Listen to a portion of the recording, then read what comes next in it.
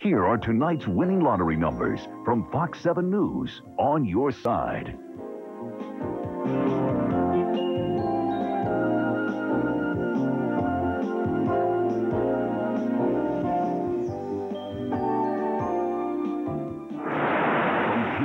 In Austin, Fox 7 on your side.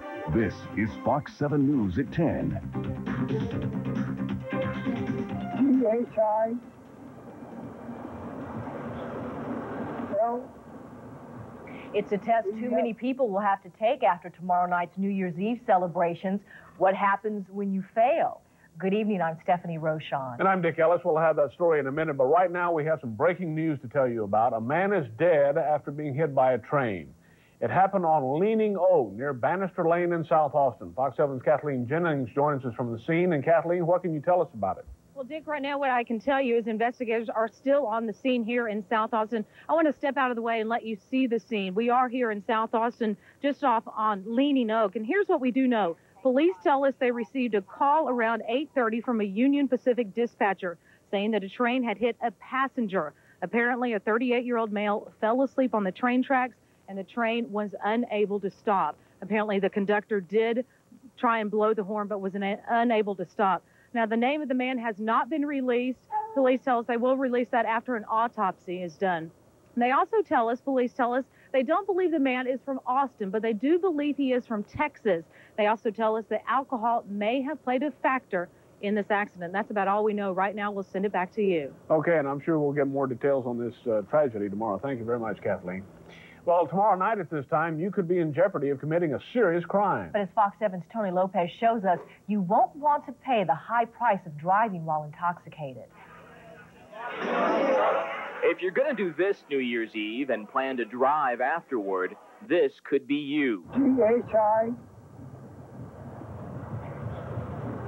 L. E-F-T-L-S-I-K. But failing a sobriety test could only be part of your troubles. You could end up killing someone. That's why police will be out in force for New Year's Eve on 6th Street and all over the Austin area. And what a price to pay if you get caught drinking and driving.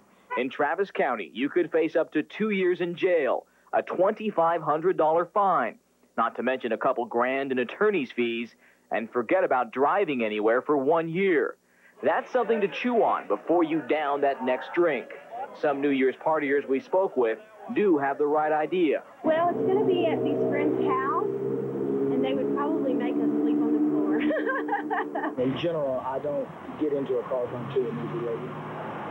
And if I see someone else that's that inebriated, I try to get the keys away from them. Tony Lopez, Fox 7 News at 10. Well, the warnings come at a time when drunk driving fatalities are on the rise. But you don't have to be a statistic.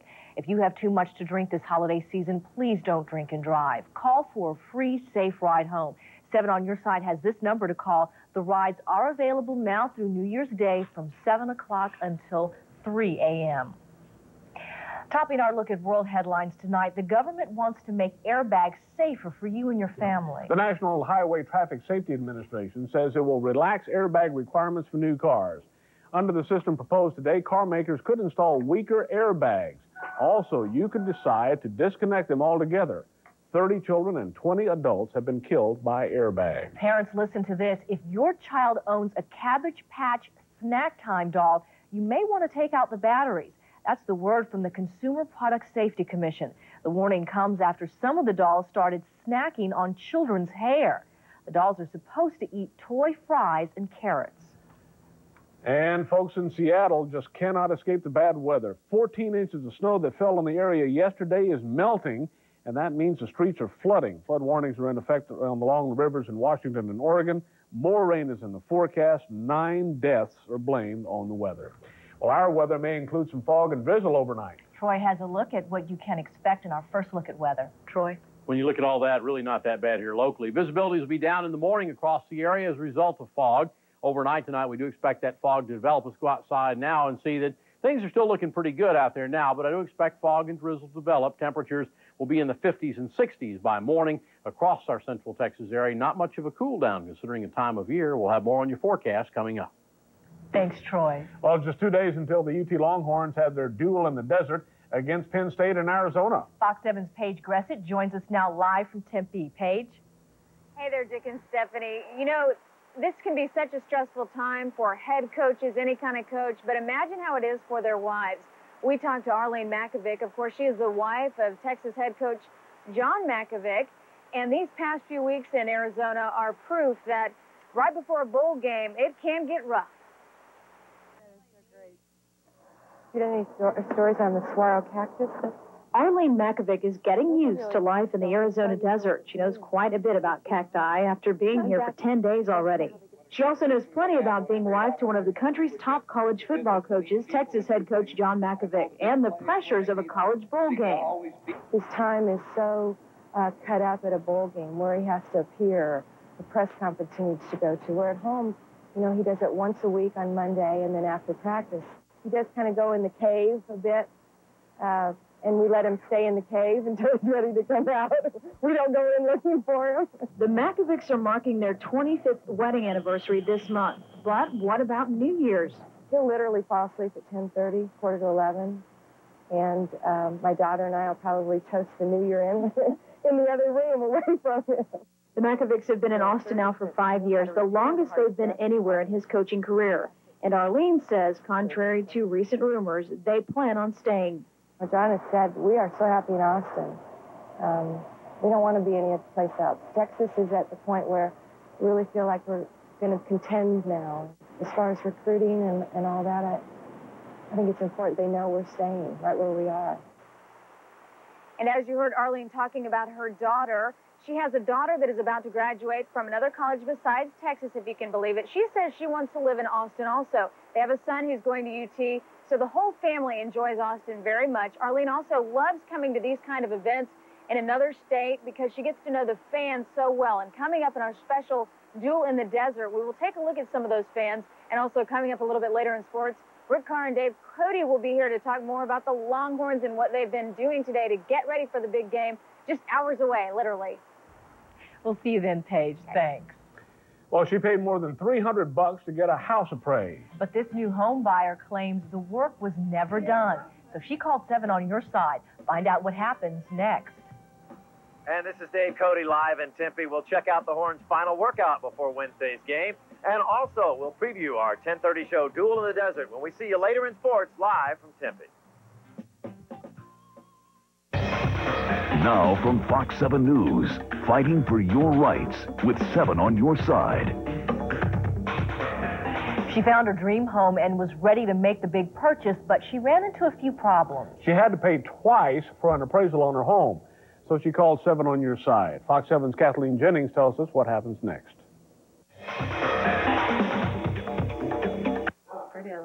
First, Della Phillips paid $350 for an appraisal on this home. But when the loan fell through, she went to another mortgage company. There, she had to pay for another appraisal because she says her first appraisal was never done, even though she had paid for it. Seven on Your Side stepped in and helped her get her money back from that first mortgage company. We got it. So we actually got the $350 for the appraisal. Makes you feel pretty good, huh? Yeah, especially right at Christmas. that was terrific. You should only have to pay for an appraisal once, and typically it will cost you $325. You also need to make sure you do your homework on the mortgage company. I think how long they've been in business is a good idea, what the experience is. I also think you should ask for references of people that they've physically done loans for. Now, there's a number you can call to check out mortgage brokers. Call the Texas Association of Mortgage Brokers. The phone number is on your screen 467 0238. Now, if you have a consumer problem, you can write to 7 on your side, 119 East 10th Street, Austin, Texas 78701. Big plans for New Year's Eve? Troy will let you know what kind of weather you will have to end the 1996 with a bang. Your New Year's forecast is coming up next.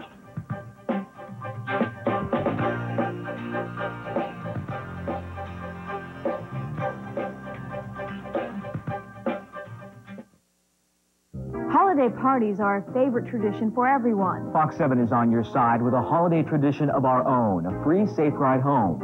If you or someone you know has too much to drink while celebrating the season, call 434-7788 for a free safe ride home. From Fox 7, 107.1 KGSR, 101X, and American Yellow Checker Cab. There's no reason to drink and drive this holiday season. A safe ride home is a phone call away from Fox 7 on your side. This announcement is made possible by Russell Korman Jewelry. Fox 7 News, on your side. They're the people that help make Austin the great city it is.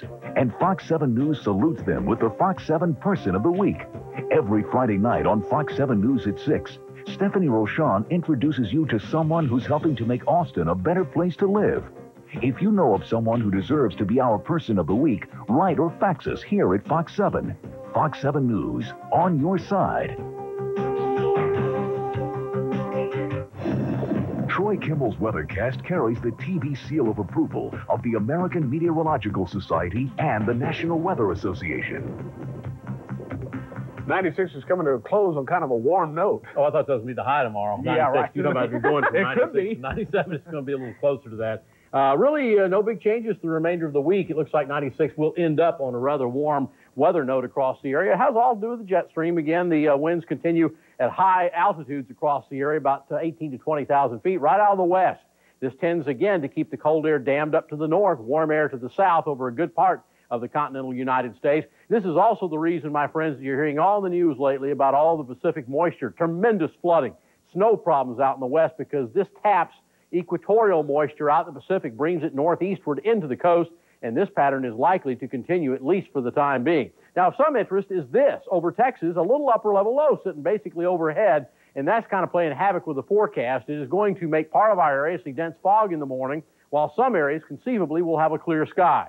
It's a little bit tricky. We'll keep an eye on it overnight for you, but Gordon Smith will have more for you tomorrow morning at about 5:30 as to uh, fog around the area. Now, you notice national radar, lots of precipitation in the west. This is falling into areas that are basically water waterlogged and don't need any more rainfall, but folks are likely to see it. Uh, some of the uh, Q, what we call QPF rainfall total forecasts out here are in the three to four inch range over the next couple of days, and some of the elevated areas where you get more of a favored rainfall will see much heavier than that. Flash flood watches, and then you get above about seven or eight thousand feet, it turns into winter storm warnings where you get a couple feet of snow. So this is really a mess. You can see the Pacific moisture streaming in. You can also see across Texas a little counterclockwise turn there. That's an upper level low. And by the way, on the east side of that tonight, some thunderstorms formed down around Palacios and Victoria, but they've been off to the east of the area. Not a major concern as far as we are concerned across the local area. Now, as we head through the next couple of days, tomorrow's forecast we'll see some snow over the northern plains, but most of the nation will be warmer than normal. Thunderstorms over parts of the south.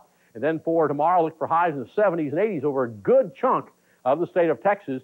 Tomorrow night, uh, we cross uh, on into uh, Wednesday, perhaps. We'll see, again, mostly fair skies in central parts of the country. That's important for Tempe, Arizona. I think we'll generally see sunshine out there with high temperatures in the 70s as well as we go toward ball game time. Here in the Austin area, 10 o'clock, we have some clouds forming across the area now, but really a pretty nice evening. Live look from top of Franklin Plaza. But notice how close these two numbers are getting. 90% humidity, winds are calm. High today in Austin, officially 73, 47 our morning low, and precipitation course, none recorded. Our Fox 7 weather trackers from across the area checking in mainly with 60s to uh, around 60 degrees. LaGrange at 67 at this hour. Up at Marble Falls, 57, 58 in Johnson City, around 60 here in the capital city. Now, as far as the satellite picture is concerned, again, you can kind of catch that upper level low right overhead. Some thunderstorms down to the southeast. For us, You've seen the forecast before. Our forecast for Austin overnight tonight, we're going to go for a low temperature of 58, low clouds, drizzle, and fog in some areas. And some of you wake up tomorrow morning, maybe off to the east, and maybe see partly cloudy skies, light southeast winds overnight.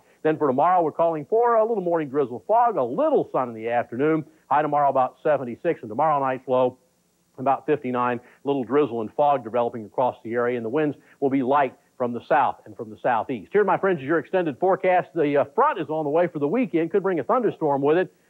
Before it gets here, though, highs in the 80s Thursday and Friday. Not that much colder with that front over the weekend. Way to start the year in Texas, huh? Hey, it's typical, I guess. yeah, thanks, Troy.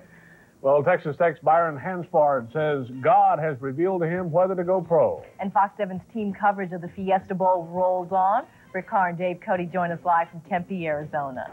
Well, Stephanie and Dick, we're going to hear from a former Heisman Trophy winner, get his thoughts on the big game Wednesday. And just two days away from kickoff, the Longhorns took to the practice field for a final time. We'll find out if one of their key players was there. All that when we come back live to Tempe in just a moment.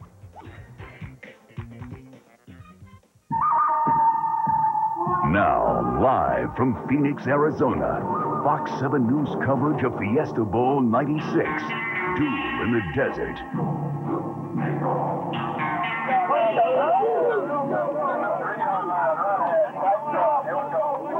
Continue their workouts in the Valley of the Sun. And Fox 7's team coverage of the Fiesta Bowl preparations continues.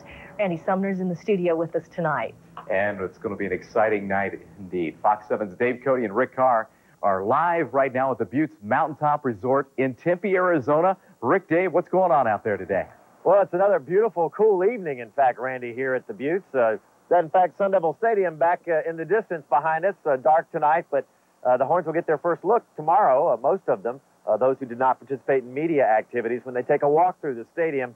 But their final practice was today. Yeah, something to be thankful for the nice weather. Another thing that Texas players were thankful for, they don't have to practice anymore. They can think about playing a football game. This afternoon at Mountain Pointe High School in southern Phoenix, they took to the practice field for the final time, and good news for Texas fans, number 83, Mike Adams, was, a, was there. John Mackovic, star receiver, was limited in drills on Sunday because of a recurring hamstring and groin injury, an injury he first suffered in the A&M game. But Adams took full part in this afternoon's practice and plans to be in Wednesday's game against Penn State, the game that he does not intend to be kept out of. Now, before practice today, Texas coach John Mackovic helped kick off a youth football clinic here in Tempe. Some 500 area kids learned the basics of the game from local high school coaches, everything from passing to blocking and tackling. A couple of former Heisman Trophy running backs, Oklahoma's Billy Sims and Nebraska's Mike Rozier, talked to the kids about football and to us about Texas and Penn State. You got a couple of running backs, Ricky Williams, who I Oh, know yeah. you've seen from Texas. Oh, yeah. Curtis Enis, I don't know if you've seen him from Oh Penn yes, State. oh yes. I, I know Coach Joe very well, so I watch both those teams, and uh, I'm looking forward to be a pretty close ball game. Really, real physical. You know, Penn State always known for being a physical team, so uh, it's, it's going to should be a good game. Well, another former Heisman Trophy winner, Earl Campbell, was invited to attend, but uh, Earl's in big demand this week here in Tempe. He was uh, probably on a radio show Making somewhere. sausage, selling his Earl Campbell sausage He's somewhere. selling plenty of that. Well, we'll be back, of course. Uh, see you at 10:30 with our duel in the desert as we preview again Wednesday's matchup. Randy. All right, thank you very much, Dick, Dave, and Rick. Thank you very much. And what was easily the best college bowl matchup before New Year's Day, the eighth-ranked Colorado Buffaloes met up with number 13 Washington tonight in the Holiday Bowl. And it's been a wild one. Second quarter, after Colorado scored a touchdown on an interception, Huskies return man Jerome Pathon takes the kickoff, going to take it all the way back 87 yards. No one's going to touch him all the way down the sideline. He's going to run it in for the touchdown. And the Washington Huskies took the lead at 21-14, but then Coy Detmer went to work. Watch him here as he drops back, finds the open man in the corner of the end zone for the touchdown. Detmer with a beautiful touch. He's got a procurer ahead of him, just like his big brother. Colorado leads by score of 27 to 21 in the fourth quarter. Saying the Lord told him to do it, Texas Tech running back Byron Hanspard announced today that he'll be leaving Lubbock to enter the NFL draft. The junior rushed for 2,084 yards this season, earning the Doak Walker Award as the nation's best running back. Hanspard is also a Pentecostal minister, and his decision had quite a bit to do with his ministry. And the reason that I'm doing that is because the, you know, there's a big arena out there, and the Lord is on his way back.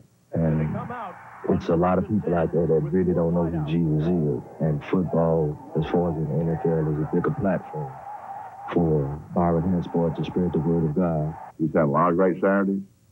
Uh, he spread a lot of goodwill. He spread a lot of uh, a lot of joy to a lot of people. If you missed Jason Kidd's cameo appearance with the Suns uniform Saturday, you're out of luck. The point guard, who was shipped to Phoenix in a six-player swap with the Dallas Mavs, has been placed on the injured list. Is expected to miss four to six weeks. Tests today revealed a hairline fracture to his right collarbone. The Rockets hosted the Sonics tonight at the Summit, and the Rockets get it done. Matt Maloney from the outside scored at will. The Rockets come away with the big victory, 99 to 91. Meanwhile, the Spurs lead Vancouver 50 to 37 in college hoops tonight. Kansas gets Jacque Vaughn back. He plays well, and they win big over Division II Washburn. All right, busy night. Thank you, Randy. Troy has a final look at your forecast when we come back. Stay with us.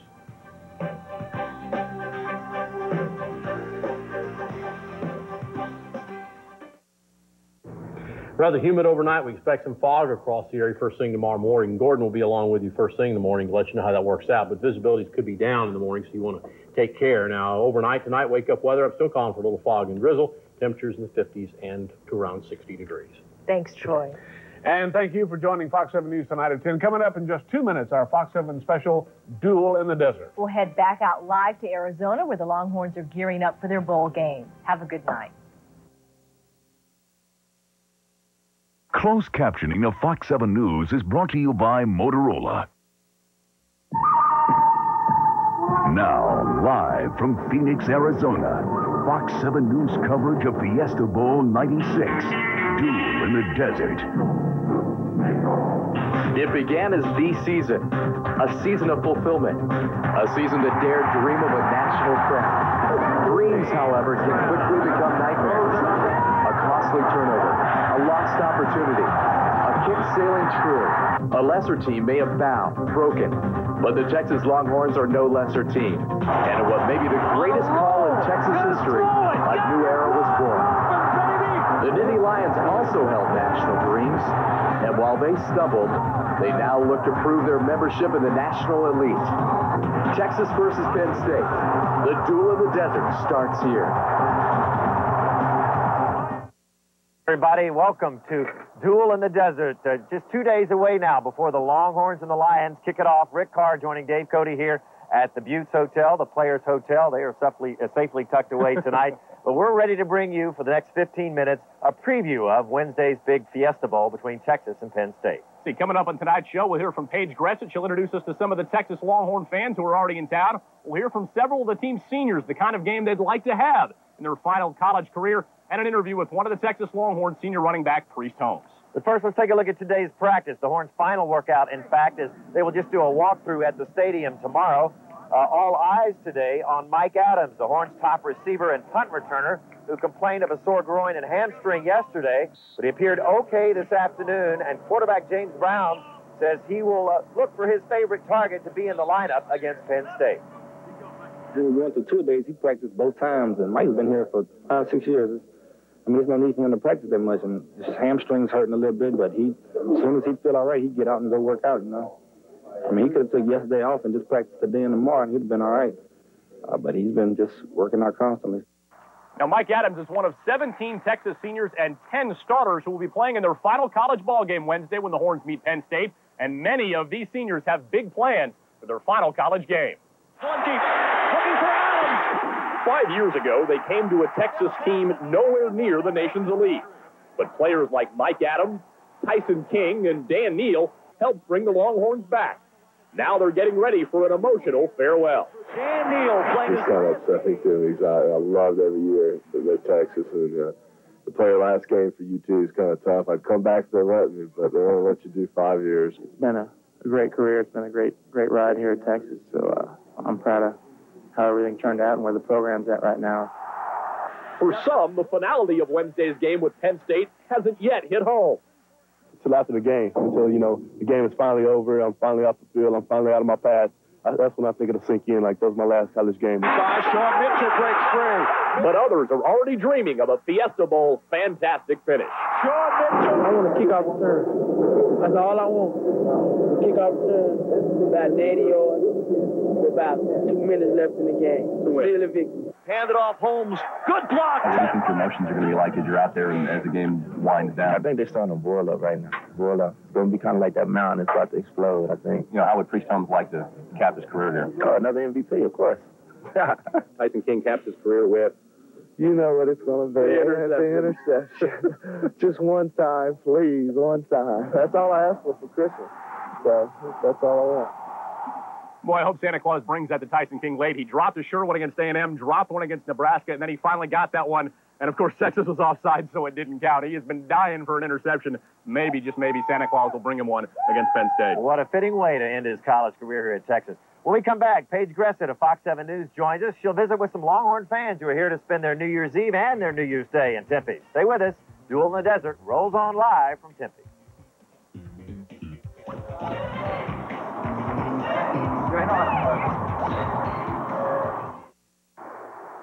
Welcome back to our special Duel in the De- Desert coverage. We are here at the Buttes Mountain Resort where the Longhorns are staying and they're playing and they're yelling because they're getting excited. A couple of them have walked by here. I'm Paige Gressett. We're having a great time here. There are lots of fans here. If you go around this hotel, you see signs of Texas literally everywhere at the Buttes. Take a look. You can see how beautiful it is here. Some of the cactus, they have lights all over them. The employees here, including the ballet parkers, yes, they are wearing Texas clothes. That probably makes for some pretty good tips, don't you think? And of course, a lot of UT fans are staying here, like the family that has Longhorn flags all over their cars. Also, some Austin radio sportscasters are making this place home. Now, Texas fans may be here, but it's a little bit early in the week, and Texas fans are not all over Tempe, Arizona just yet. fanatic Longhorn fan ever since I was a kid. I was at the Notre Dame game. Texas should have won it. They're going to win this one. They're going to win it big. This is great. We we uh, made a big ball game. You know, we shouldn't have. We lost the four games, but uh, it's great that we uh, we were able to pull off the Nebraska win. And uh, well, we're going to have to destroy Penn State. Here in downtown Tempe, there are signs that the Horns are taking on Penn State in the Fiesta Bowl, but you have to keep in mind ASU is also headed to the Rose Bowl in Pasadena. Uh, it's great because there's still quite a few ASU people here, and uh, we haven't left yet for the Rose Bowl. So we're still mingling with those people. I'm not much into college football. I like NFL better. Just not into it. But you're out here selling all this college stuff. Well, it's because it's from a business for my dad, them, and I don't have a choice, so. Okay, so not everybody has Longhorn fever just yet, but you can guarantee they probably will. A plane load full of Texas alums arrived today. More are coming tomorrow, and there are already fans all over town, although it is kind of quiet still. And we are looking forward to that because there's a parade tomorrow, there's a block party, so many things going on for New Year's Eve. And coming up next, Dave Cody is going to have an interview with one of the Longhorn players. Stay with us. We're right back with more Duel in the Desert.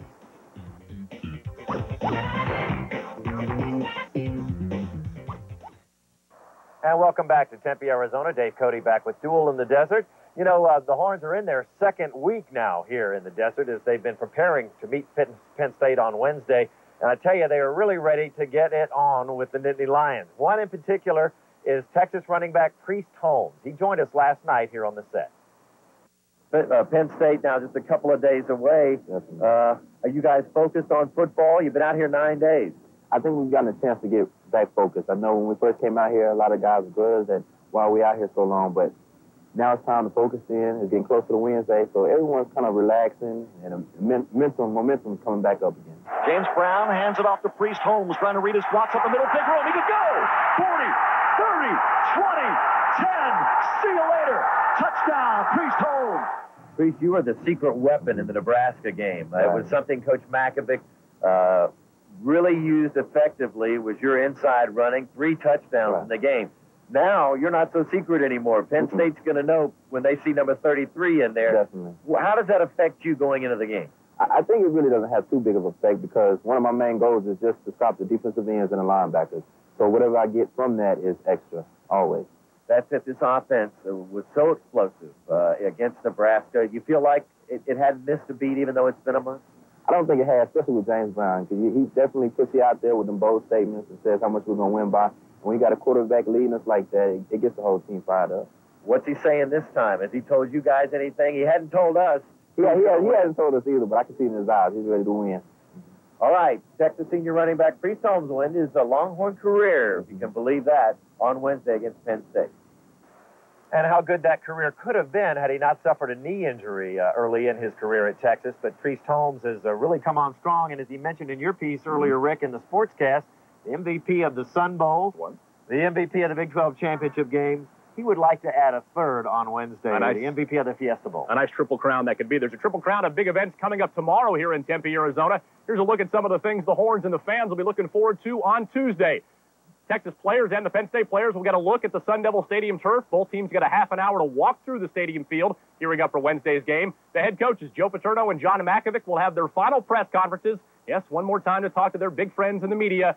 And it's the big event everybody, as far as fans are concerned, are waiting for. It's the Fiesta Bowl block party. That's where they take over an entire area of downtown Tempe, several hundred thousand fans celebrating the new year, and a couple of nice bands, Del Amitri and the Gin Blossoms, two of your favorite, That's will be here to uh, entertain the masses. Gin Blossoms from right here in Right here in Phoenix. By the way, we invite you to join us as we've been talking about tomorrow night, 9 o'clock Austin time, for our one-hour Fiesta Bowl special, Duel in the Desert. Coach John Mackovic will give us a one-on-one inter- interview tomorrow, to the eve of the game, to talk about, of course, the matchup with Penn State. Mark Wangrin of the American Statesman will be with us, and Bill Schoening, the voice of the Longhorns. How many times have we heard that call? Many times. And we can't wait to hear it again. We invite you to join us tomorrow for 5, uh, 6, and 10 o'clock reports as well. For now, Rick Carr, Dave Cody, thanks for being with us in the Duel in the Desert.